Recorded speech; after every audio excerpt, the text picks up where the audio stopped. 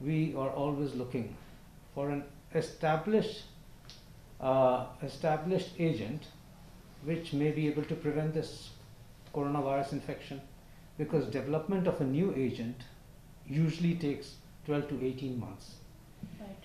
and therefore while it's too premature and early to say whether this indirect evidence will translate into prevention Right. of uh, coronavirus infections, trials have already started. In fact, six trials have already started Mm-hmm. of BCG vaccination being given to corona health workers to, or, or health workers taking care of corona patients Mm-hmm.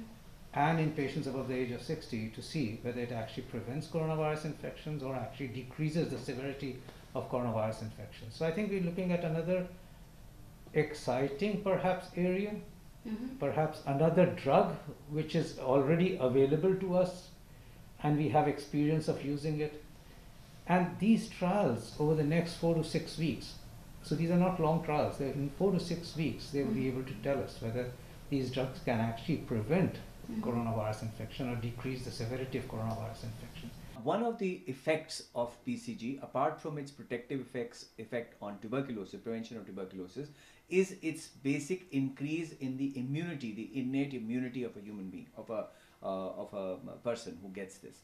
And this increase in the immunity actually enables the person who's been inoculated to fight infections. And it has been known, it has been seen that it has, um, a, a, you know, it increases the immunity even for patients with uh, virus infections, for bacterial infections. And this is actually what is being touted as something which is going to increase the uh, immunity against the COVID 19 onslaught as, as of now. Uh, there is no definite evidence. There are studies. There is a study which is started in Melbourne, in, in, in Australia, which is in, uh, uh, recruiting over a thousand patients, a thousand people, basically health workers who are working in a hospital in uh, Melbourne, who will be who have been injected with the BCG vaccine, and the results will be known in about three to four months when we will be able to identify whether that is indeed helpful or not. I think within the next three to four months, they will have some evidence which will probably tell us that the BCG is indeed protective and it is actually supplementing our innate immunity and uh, and and preventing the uh, intensity of COVID-19.